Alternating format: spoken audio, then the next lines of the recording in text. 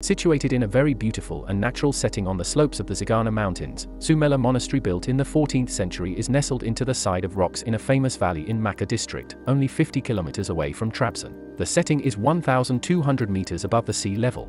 Two Greek monks, Barnaby and Sophronios, started to build the original building in the 4th century. The 7th century icon of Virgin Mary apparently painted by an anonymous Trebizond, Trabzon, artist became the symbol of the monastery. The monastery fell into ruin several times and was restored by Byzantine emperors. After the 15th century the area was ruled by Ottoman Empire but it preserved its rights and privileges until today, now becoming a popular tourist destination in eastern Black Sea region. Today there is a tiny road to the monastery which you can walk uphill or take a van, after which you have to walk a steep path and climb some steps to reach the building.